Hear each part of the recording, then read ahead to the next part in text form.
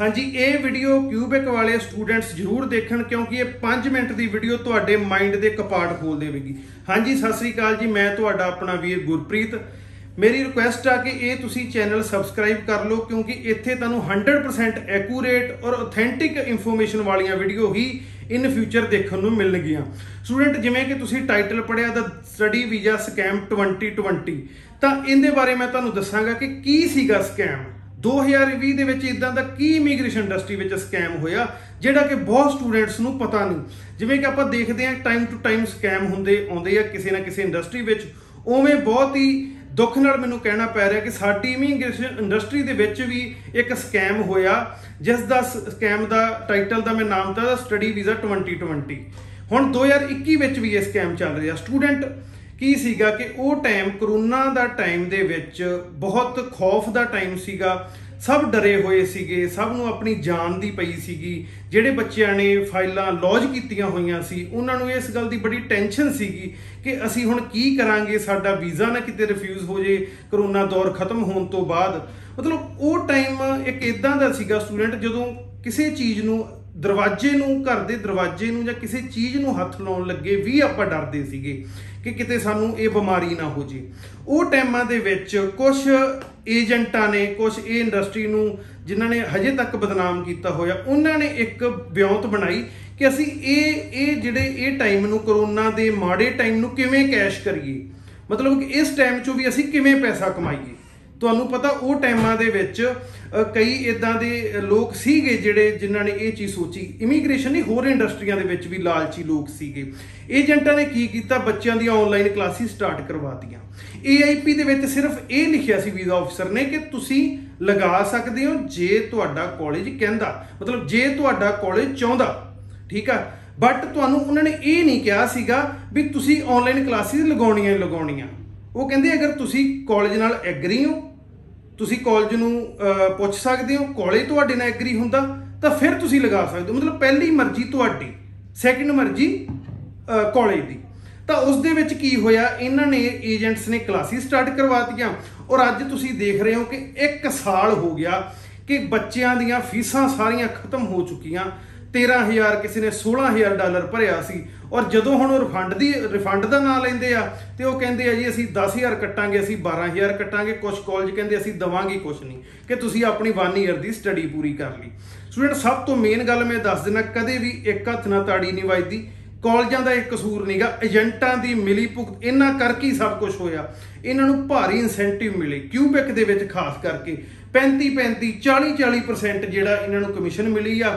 ਔਰ ਉਹਨਾਂ ਲਈ ਤੁਸੀਂ ਇੰਡੀਆ ਹੋਵੋ, ਚਾਹੇ ਤੁਸੀਂ ਕੈਨੇਡਾ ਹੋਵੋ, ਕੋਈ ਫ਼ਰਕ ਨਹੀਂਗਾ, ਉਹਨਾਂ ਨੂੰ ਤਾਂ ਆਪਦੇ ਪੈਸੇ ਨਾ ਮਤਲਬ ਆ ਅਸੀਂ ਸਟੂਡੈਂਟਸ ਨੂੰ ਉਦੋਂ ਹੀ ਕਹਿਤਾ ਸੀਗਾ ਵੀ ਅਸੀਂ ਕਿਸੇ ਦੀ ਆਨਲਾਈਨ ਕਲਾਸ ਸਾਨੂੰ ਕਾਲਜਾਂ ਨੇ ਬਹੁਤ ਕਿਹਾ ਕਿ ਸਟੂਡੈਂਟ ਦੀ ਆਨਲਾਈਨ ਕਲਾਸਾਂ ਲਗਾਓ ਜੀ ਆਨਲਾਈਨ ਕਲਾਸਿਸ ਅਸੀਂ ਅਵੇਲੇਬਲ ਆ ਸਾਡੀਆਂ। ਬਟ ਅਸੀਂ ਸਾਫ਼ ਤੌਰ ਤੇ ਜਵਾਬ ਦਿੱਤਾ ਸੀ ਕਿ ਸਾਨੂੰ ਸਟੂਡੈਂਟ ਨੇ ਪੈਸਾ ਦਿੱਤਾ ਕੈਨੇਡਾ 'ਚ ਜਾ ਕੇ ਪੜਨ ਲਈ, ਨਾ ਕਿ ਇੰਡੀਆ 'ਚ ਬਹਿ ਕੇ ਆਪਣਾ ਜਿਹੜਾ ਪੈਸਾ ਖਰਾਬ ਕਰਨ ਲਈ ਉਹ ਸਾਡੇ ਕੋਲੇ ਆਏ ਆ। ਤਾਂ ਅਸੀਂ ਸਾਫ਼ ਤੌਰ ਤੇ ਜਵਾਬ ਦਿੱਤਾ ਸੀਗਾ, ਜਿਸ ਕਰਕੇ ਸਾਡਾ ਰਿਜ਼ਲਟ ਤਾਂ ਹਜੇ ਤੱਕ ਠੀਕ ਆ। ਤਾਂ ਹੀ ਅਸੀਂ ਬੋਲਣ ਜੋਗੇ ਹੋਏ ਆ।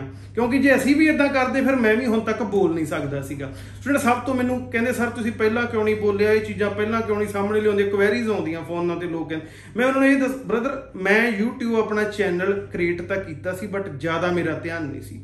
ਜਦੋਂ ਕੋਈ ਸਟਾਫ ਦਾ ਮੈਂਬਰ ਕਹਿ ਦਿੰਦਾ ਸੀ, ਕਿਸੇ ਦਾ ਵੀਜ਼ਾ ਆਉਂਦਾ ਸੀ ਤਾਂ ਪਾ ਦਿੰਦੇ ਸੀ ਵੀਡੀਓ ਜਾਂ ਮਤਲਬ ਬਹੁਤ ਘੱਟ ਇੰਟਰਸਟ ਸੀਗਾ, ਕਿਉਂਕਿ ਮੈਂ ਲਾਈਮਲਾਈਟ ਵਿੱਚ ਨਹੀਂ ਸੀਗਾ, ਨਾ ਹੀ ਕਦੇ ਜ਼ਿਆਦਾ ਧਿਆਨ ਦਿੱਤਾ ਸੀ ਕਿ ਵੀਡੀਓ ਨੂੰ ਕਿਵੇਂ ਕ੍ਰੀਏਟ ਕਰਨਾ, ਇੰਨਾ ਜ਼ਿਆਦਾ ਨਹੀਂ ਪਤਾ ਸੀਗਾ।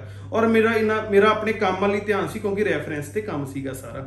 ਤਾਂ ਸਟੂਡੈਂਟ ਹੁਣ ਜਦੋਂ ਵੀਡੀਓ ਦੇ ਵਿੱਚ ਮੈਂ ਸਟੂਡੈਂਟ ਨੂੰ ਅਵੇਅਰ ਕੀਤਾ, ਇੰਨਾ ਜ਼ਿਆਦਾ ਪਿਆਰ ਮਿਲਿਆ ਸਟੂਡੈਂਟਸ ਵੱਲੋਂ, ਲੋਕ ਇੰਨਾ ਟਰਸਟ ਕਰਕੇ ਤੁਹਾਨੂੰ ਪੁੱਛਦੇ ਆ, ਸਰ ਜੀ, ਕਿਵੇਂ ਕਰੀਏ? ਤਾਂ ਉੱਥੇ ਇੱਕ ਬਹੁਤ ਜ਼ਿਆਦਾ ਰਿਸਪੌਂਸਿਬਿਲਿਟੀ ਵੱਧ ਜਾਂਦੀ ਆ। ਤਾਂ ਹੁਣ ਮੇਰਾ ਇਹੀ ਮੇਰੀ ਕੋਸ਼ਿਸ਼ ਆ, ਦੇਖੋ ਕਾਰੋਬਾਰ ਦੇ ਤੌਰ ਤੇ ਮੈਂ ਵੀਡੀਓ ਪਾਉਂਦਾ ਨਹੀਂ, ਸਿਰਫ ਹੈਲਪਿੰਗ ਹੈਂਡਸ ਤੁਹਾਡੀ ਹੈਲਪ ਕਰਨ ਲਈ, ਚਲੋ ਕਿਸੇ ਦਾ ਭਲਾ ਹੋ ਜੇ। ਅਗਰ ਸਟੂਡੈਂਟ ਦਾ ਭਲਾ ਹੋ ਜਾਏਗਾ, ਤਾਂ ਉਹ ਸਾਨੂੰ ਦੁਆਵਾਂ ਦੇਗਾ। ਪੇਰੈਂਟਸ ਜਿਹੜੇ ਇੰਨੇ ਵਿਚਾਰੇ ਪਰੇਸ਼ਾਨ ਆ, ਉਹ ਸਾਨੂੰ ਕਿਤੇ ਨਾ ਕਿਤੇ ਬਹੁਤ ਦੁਆਵਾਂ ਦੇਣਗੇ ਔਰ ਸਾਡਾ ਵੈਲ ਵਿਸ਼ਰ ਸਾਡੇ ਬਣਨਗੇ। ਔਰ ਉਸ ਤੋਂ ਬਾਅਦ ਮੈਂ ਗੱਲ ਕਰਾਂਗਾ ਸਟੂਡੈਂਟ ਡਿਡਕਸ਼ਨ ਦੀ। ਡਿਡਕਸ਼ਨ ਤੁਹਾਡਾ ਕਾਲਜ ਤਾਂ ਕਰ ਸਕਦਾ ਅਗਰ ਤੁਹਾਡਾ ਏਜੰਟ ਸਖਤ ਨਹੀਂਗਾ ਉਸ ਦੇ ਲਈ। ਮਤਲਬ ਦੇਖੋ ਡਿਡਕਸ਼ਨ ਤਾਂ ਕਰ ਹੀ ਰਹੇ ਆ ਸਾਰੇ ਕਾਲਜ ਪਰ ਤੁਹਾਡਾ ਏਜੰਟ ਉਹਨਾਂ ਤੇ ਪ੍ਰੈਸ਼ਰ ਪਾ ਕੇ ਉਹਨਾਂ ਤੁਹਾਡੀ ਡਿਡਕਸ਼ਨ ਬਿਲਕੁਲ ਘਟਾ ਸਕਦਾ। 200 250 ਡਾਲਰ ਕੱਟਣ ਕੱਟ ਸਕਦੇ ਹੋ, ਇਸ ਤੋਂ ਵੱਧ ਉਹ ਕੱਟ ਨਹੀਂ ਸਕਦੇ। ਆਪਣੀ ਰਿਫੰਡ ਪਾਲਿਸੀ ਧਿਆਨ ਨਾਲ ਪੜੋ ਰਿਫੰਡ ਪਾਲਿਸੀ ਦੇ ਜ਼ਿਆਦਾ ਵੀ ਲਿਖਿਆ ਹੋਇਆ ਕਿ ਇੰਨੇ ਡਾਲਰ ਕੱਟਾਂਗੇ ਤਾਂ ਵੀ ਪ੍ਰੈਸ਼ਰ ਪਾਓ। ਔਰ ਤੁਸੀਂ ਅਗਰ ਆਪਣੀ ਫਾਈਲ ਵਿਡਰੋ ਕਰਾਉਣੀ ਆ ਜਾਂ ਵੈਬ ਫਾਰਮ ਤੇ ਅਪਡੇਟ ਕਰਨੀ ਆ ਤਾਂ ਕਾਲਜ ਨੂੰ ਕੁਝ ਵੀ ਤੁਸੀਂ ਕਹਿ ਕੇ ਆਪਣਾ ਰਿਫੰਡ ਲੈ ਸਕਦੇ ਹੋ, ਜ਼ਰੂਰੀ ਨਹੀਂ ਵਿਡਰੋ ਲੈਟਰ ਤੁਹਾਡੇ ਕੋਲ ਹੋਵੇ। ਅਗਰ ਕੋਈ ਕਾਲਜ ਤੁਹਾਡਾ ਹੱਲ ਅੱਜ ਦੀ ਡੇਟ 'ਚ ਕਰ ਰਿਹਾ ਕਿ ਅਸੀਂ ਹੋਰ ਕਿਸੇ ਕਾਲਜ ਦੇ ਵਿੱਚ ਭੇਜ ਦਿੰਨੇ ਆ ਉਹ ਕਾਲਜ ਪਹਿਲਾਂ ਦੇਖੋ ਆਨਲਾਈਨ ਜਾ ਕੇ ਕਿ ਇਹ ਕਿੰਨਾ ਕੁ ਰਿਪਿਊਟਡ ਕਾਲਜ ਆ, ਇਹਦੇ ਵੀਜ਼ੇ ਹੁਣ ਆ ਰਹੇ ਆ।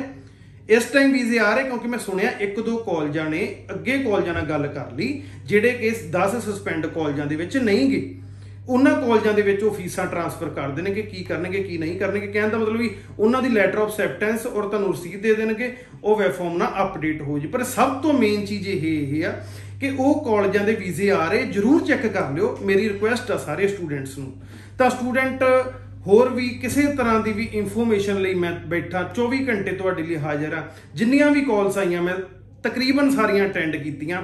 ਔਰ ਇੱਕ ਚੀਜ਼ ਹੋਰ ਪਤਾ ਲੱਗਦੀ ਆ, ਦੇਖੋ ਇਹ ਕਾਲਜ ਜਿਹੜੇ ਕਿਊਬੈਕ ਆ, ਇਹ ਚੀਜ਼ ਸਾਫ਼ ਪਤਾ ਲੱਗ ਗਈ ਵੀ ਇਹ ਹੱਥ ਖੜੇ ਕਰ ਚੁੱਕੇ ਆ।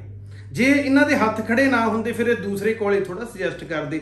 ਤੁਹਾਨੂੰ ਇੰਨੀ ਗੱਲ ਕਹਿ ਸਕਦੇ ਸੀਗੇ ਕਿ ਤੁਸੀਂ 1 ਮਹੀਨਾ ਠਹਿਰ ਜਾਓ ਜਾਂ 2 ਮਹੀਨੇ ਠਹਿਰ ਜਾਓ, ਤੁਹਾਨੂੰ ਇਹ ਗੱਲ ਕਹਿ ਸਕਦੇ ਸੀ। ਔਰ ਸਭ ਤੋਂ ਇੱਕ ਮੇਨ ਮੈਂ ਜਿਹੜੀ ਗੱਲ ਆ, ਉਹ ਕਹਿਣਾ ਭੁੱਲ ਚੱਲਿਆ ਸੀ ਸਟੂਡੈਂਟ ਕਿ ਏਜੰਟਸ ਮੈਨੂੰ ਫੋਨ ਆ ਰਹੇ ਆ। ਤਿੰਨ ਚਾਰ ਕਾਲਜ ਕਿਊਬੈਕ ਦੇ ਇਦਾਂ ਦੇ ਆ ਜਿਹੜੇ ਸਾਨੂੰ ਕਹਿ ਰਹੇ ਕਿ ਸਰ, ਇਹ ਤੁਸੀਂ ਕੀ ਕਰ ਰਹੇ ਹੋ? ਸਾਡੇ ਤੋਂ ਤਾਂ ਸਟੂਡੈਂਟ ਫੰਡ ਮੰਗਣਾ ਸਟਾਰਟ ਕਰ ਗਏ ਆ। ਤੁਸੀਂ ਚੁੱਪ ਕਰ ਦਿਓ ਅਸੀਂ ਤੁਹਾਨੂੰ ਫ੍ਰੀ ਆਫ ਕਾਸਟ ਦੇ ਦਿਆ ਕਰਾਂਗੇ ਆਫਰ ਲੈਟਰ ਤੁਹਾਨੂੰ ਅਸੀਂ ਮਤਲਬ ਕਈ ਤਰ੍ਹਾਂ ਦੇ ਲਾਲਚ ਦਿੱਤੇ ਜਾ ਰਹੇ ਆ। ਅਸੀਂ ਉਹਨਾਂ ਨੂੰ ਸਾਫ਼ ਕਹਿ ਚੁੱਕੇ ਹਾਂ, ਕੋਈ ਗੱਲ ਨਹੀਂ। ਤੁਸੀਂ ਇਹ 10 ਕਾਲਜ ਆ, ਸਾਨੂੰ ਨਾ ਇਨ ਫਿਊਚਰ ਆਫਰ ਲੈਟਰ ਦਿਓਗੇ, ਸਾਡੇ ਕੋਲੇ ਹਜ਼ਾਰਾਂ ਕਾਲਜ ਆ। ਬਟ ਅਸੀਂ ਗਲਤ ਨਹੀਂ ਹੋਣ ਦਵਾਂਗੇ। ਸਾਡੇ ਗੁਰੂ ਨੇ, ਸਾਡੇ ਧਰਮ ਨੇ ਸਾਨੂੰ ਇਹ ਸਿਖਾਇਆ ਕਿ ਨਾ ਜ਼ੁਲਮ ਕਰਨਾ ਤੇ ਨਾ ਸਹਿਣਾ। ਤੇ ਗਰੀਬ ਗਊ ਦੀ ਰੱਖਿਆ ਕਰਨੀ ਆ। ਇਸ ਕਰਕੇ ਪ੍ਰਮਾਤਮਾ ਦੀ ਕਿਰਪਾ ਸੱਚ ਬੋਲਦੇ ਰਵਾਂਗੇ, ਚਾਹੇ ਜੋ ਮਰਜ਼ੀ ਉਹਦੀ ਪਨਿਸ਼ਮੈਂਟ ਹੋਵੇ ਜਾਂ ਕੋਈ ਵੀ ਸਾਨੂੰ ਸੈਕਰੀਫਾਈਸ ਕਰਨਾ ਪਵੇ। ਤਾਂ ਸਟੂਡੈਂਟ ਆਪਣੇ ਜਿਹੜੀ ਅਸਲੀਅਤ ਨੂੰ ਸਮਝੋ, ਏਜੰਟਾਂ ਦੇ ਝਾਂਸੇ ਵਿੱਚ ਨਾ ਆਓ, ਮੇਰੀ ਇਹ ਰਿਕੁਐਸਟ ਆ। ਅਗਰ ਤੁਹਾਨੂੰ ਲੱਗਦਾ ਕਿ ਤੁਹਾਡਾ ਕਾਲਜ ਕੋਈ ਹੱਲ ਕਰਕੇ ਦਿੰਦਾ ਸੋਲੂਸ਼ਨ ਤਾਂ ਤੁਸੀਂ ਵੇਟ ਕਰ ਸਕਦੇ ਹੋ ਅਦਰਵਾਈਜ਼ ਡੀਐਲਆਈ ਚੇਂਜ ਕਰ ਲਓ। ਹੁਣ ਅੱਛਾ, ਮੇਰੀ ਵੀਡੀਓ ਤੋਂ ਬਾਅਦ ਸਾਰੇ ਏਜੰਟਾਂ ਨੇ ਸਟਾਰਟ ਕਰਤੀਆਂ ਵੀਡੀਓਜ਼ ਤੁਸੀਂ ਇੱਕ ਚੀਜ਼ ਨੋਟ ਕਰਿਓ, ਮੇਰੀ ਵੀਡੀਓ ਦੀ ਡੇਟ ਚੈੱਕ ਕਰ ਲਓ, ਉਸ ਤੋਂ ਬਾਅਦ ਤੁਹਾਨੂੰ ਵੱਡੇ ਵੱਡੇ ਜਿਹੜੇ ਏਜੰਟ ਆ, ਜਿਨ੍ਹਾਂ ਨੂੰ 30 30 40 40 ਸਾਲ ਬਹੁਤ ਖੱਬੀ ਖਾਣ ਆਪ ਨੂੰ ਅਖਵਾਉਂਦੇ ਆ, ਉਹਨਾਂ ਨੇ ਵੀਡੀਓ ਬਣਾਤੀਆਂ ਆਜੋ ਜੀ ਆਜੋ ਹਾਂਜੀ ਡੀਐਲਆਈ ਪਹਿਲਾਂ ਤੁਹਾਨੂੰ ਯਾਦ ਨਹੀਂ ਸੀ? ਮੈਂ ਏਜੰਟਸ ਨੂੰ ਪੁੱਛਣਾ ਚਾਹਣਾ ਪਹਿਲਾਂ ਤੁਹਾਨੂੰ ਇਹ ਗੱਲ ਪਤਾ ਨਹੀਂ ਸੀ ਕਿ ਡੀਐਲਆਈ ਤੁਹਾਨੂੰ ਪਤਾ ਸੀ? ਇਹ ਕੋਈ ਨਵੀਂ ਗੱਲ ਨਹੀਂ ਸੀ ਅੱਜ ਦੀ ਡੇਟ ਦੇ ਵਿੱਚ, ਪਰ ਤੁਸੀਂ ਨਹੀਂ ਚਾਹੁੰਦੇ ਸੀਗੇ ਕਿ ਕੋਈ ਡੀਐਲਆਈ ਚੇਂਜ ਕਰੇ। ਹੁਣ ਤੁਹਾਨੂੰ ਪਤਾ ਕਿ ਸਾਡੇ ਤੋਂ ਸਟੂਡੈਂਟ ਰਿਫੰਡ ਮੰਗੇਗਾ ਤੇ ਹੁਣ ਤੁਹਾਡੀਆਂ ਚੀਕਾਂ ਪੈ ਰਹੀਆਂ ਇਸ ਗੱਲੋਂ। ਤੇ ਤੁਸੀਂ ਹੁਣ ਕਹਿ ਰਹੇ ਆਜੋ ਜੀ ਰਿਫੰਡ ਜੇ ਤੁਸੀਂ ਡੀਐਲਆਈ ਚੇਂਜ ਕਰਨਾ ਤੇ ਅਸੀਂ ਕਰ ਦਿੰਨੇ ਆ। ਤੇ ਹੁਣ ਤੁਸੀਂ ਰੈਡੀ ਆ। ਹੁਣ ਤੁਹਾਨੂੰ ਸਭ, ਸਾਰੇ ਪ੍ਰੋਸੀਜਰ ਜਿਹੜੇ ਤੁਹਾਨੂੰ ਚੇਤਾ ਆ ਗਏ ਆ। ਤਾਂ ਸਟੂਡੈਂਟ ਮੇਰੀ ਐਡਵਾਈਸ ਰਿਕੁਐਸਟ ਆਪਣਾ ਅਵੇਅਰ ਹੋ ਜਾਓ। ਜਿਹੜੇ ਬੱਚੇ ਪੈਸਾ ਖਰਾਬ ਕਰ ਚੁੱਕੇ ਆ ਕੋਈ ਗੱਲ ਨਹੀਂ, ਕੋਈ ਚੀਪ ਕਾਲਜ ਮਤਲਬ ਕੋਈ ਸਸਤਾ ਕਾਲਜ ਲੈ ਲੈਣ, ਉਧਰ ਜਾ ਕੇ ਚੇਂਜ ਕਰ ਲਿਓ। ਇੱਕ ਸਾਲ ਕਿਸੇ ਪ੍ਰਾਈਵੇਟ ਛੋਟੇ-ਮੋਟੇ ਕਾਲਜ 'ਚ ਪੜ੍ਹ ਲਓਗੇ, ਕੋਈ ਫ਼ਰਕ ਨਹੀਂ। ਅਗਰ ਤੁਹਾਡੀ ਪ੍ਰੋਫਾਈਲ ਅੱਛੀ ਆ ਐਸਡੀਐਸ ਪ੍ਰੋਫਾਈਲ ਆ, ਜ਼ਿਆਦਾ ਗੈਪ ਨਹੀਂ ਹੈਗਾ ਪਰਸੈਂਟੇਜ ਅੱਛੀ ਆ, ਤਾਂ ਤੁਹਾਡਾ ਵੀਜ਼ਾ ਲੋ ਪ੍ਰੋਫਾਈਲ ਮਤਲਬ ਲੋ ਕਲਾਸ ਦੇ ਵਿੱਚ ਵੀ ਲੱਗ ਜਾਣਾ। ਉਹ ਮੈਂ ਕਿਉਂ ਕਹਿ ਰਿਹਾ? ਵੀ ਅਗਰ ਤੁਹਾਡੇ ਕੋਲੇ ਪੈਸਾ ਘੱਟ ਆ, ਕਿਉਂਕਿ 4 4.5 ਲੱਖ ਵਾਲੇ ਕਾਲਜ ਵੀ ਕਈ ਪਏ ਆ, ਤੁਸੀਂ ਉਹ ਲੈ ਕੇ ਇੱਕ ਵਾਰੀ ਇੱਥੋਂ ਨਿਕਲੋ। ਉੱਥੇ ਇੱਕ ਸਾਲ ਕਰਕੇ ਨੈਕਸਟ ਈਅਰ ਤੁਸੀਂ ਗਵਰਨਮੈਂਟ ਦੇ ਵਿੱਚ ਲਾ ਲਿਓ। ਮਤਲਬ ਉਹ ਜਾਂ ਉੱਥੇ ਜਾ ਕੇ ਚੇਂਜ ਕਰ ਲਿਓ।